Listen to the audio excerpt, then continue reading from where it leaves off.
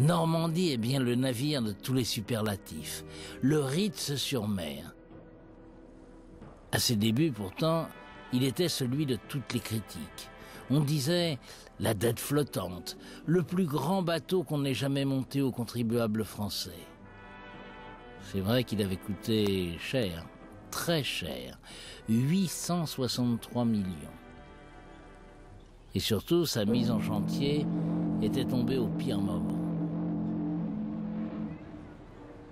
Il faut reconnaître pourtant que fin 1928, lorsque la Transat passe commande d'un projet de nouveau paquebot au chantier de Pénoët à Saint-Nazaire, l'euphorie est à son comble.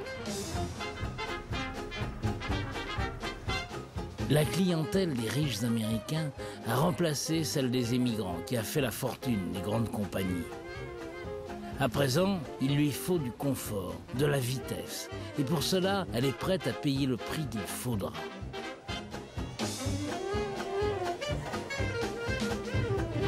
Pour surclasser ses nombreux rivaux sur l'Atlantique, le nouveau navire sera tout simplement le plus grand, le plus rapide, mais aussi le plus beau et le plus luxueux.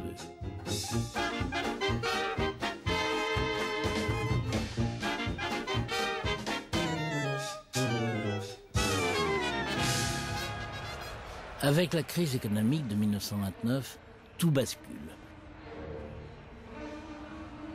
En deux ans, le trafic maritime est réduit de moitié et lorsque l'on pose la première tôle de ce que l'on appelle encore le T6, la Transat est au bord de la banqueroute.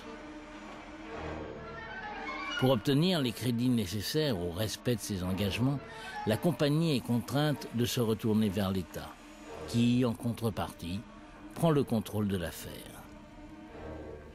Le navire devient alors le symbole de la France et sa réussite un enjeu national.